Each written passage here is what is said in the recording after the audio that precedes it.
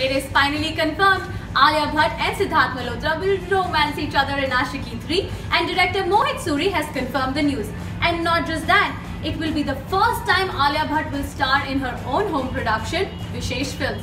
And what a better way than a successful Aashiqui franchise and that too with boyfriend Sidharth Malhotra. There is more. Watch. Will she? Will she not? Past few months, there has been a dense fog on the news that Alia is replacing Shraddha Kapoor in Aashiqui 3.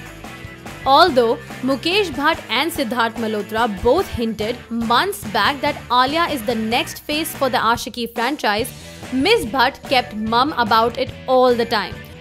She maintained that the project is yet to be offered to her. Few days back, in an exclusive interview with Spotboy, Alia expressed her desire to work with Vishesh Films in future, but didn't disclose that she's already on board for Aashiqui 3. I really want to do a Bhatt movie as well, do a Vishesh film film and I hopefully it'll happen soon. But right now, as of, at this point, there's nothing concrete that I can really talk about. But yeah, there are talks. And now Spotboy brings you the concrete news. Alia Bhatt will star in Aashiqui 3 with Sidharth Malhotra, confirms the director of the film Mohit Suri. Talking to a leading daily, Mohit said, Since it is a part of the Aashiqui franchise, Alia will play a singer.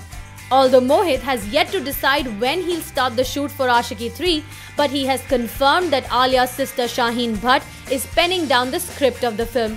Well, all we can do is wait to see Alia and Sidharth together for the third time.